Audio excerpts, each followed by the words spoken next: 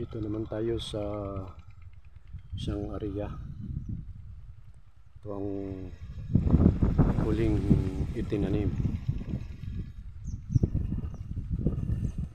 sa tabi ni Istigoy.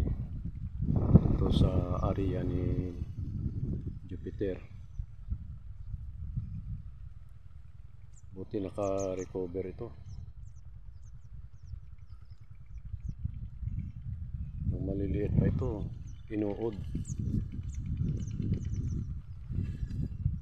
Parang kala mo, hindi na mabubuhay. Pero ngayon, salamat sa naka-recover na. Maganda ng dahon. Ah, ngayon ay pinaputubigan na naman ito dahil tuyot na rin. At ah, tapos lang mag-abuno. O, ayan pa ang mga abuno. Pa natutunaw.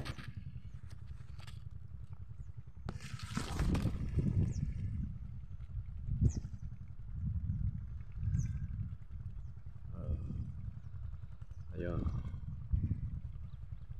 Patubig.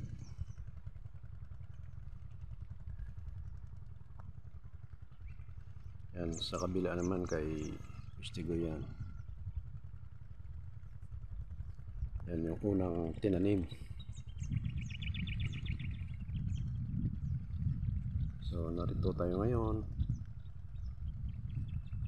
Uh, tinitingnan natin. Ah, mukhang maganda ito eh.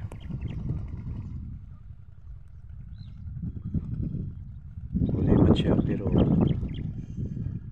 may habol pa rin.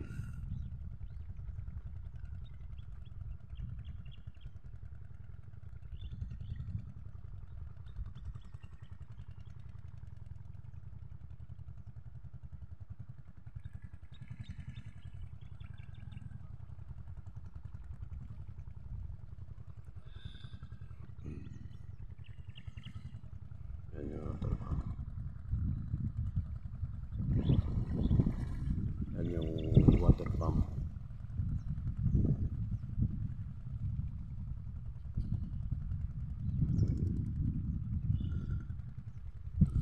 Maganda ang panahon ngayon dito.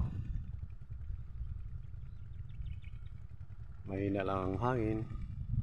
Maganda ang sikat ng araw.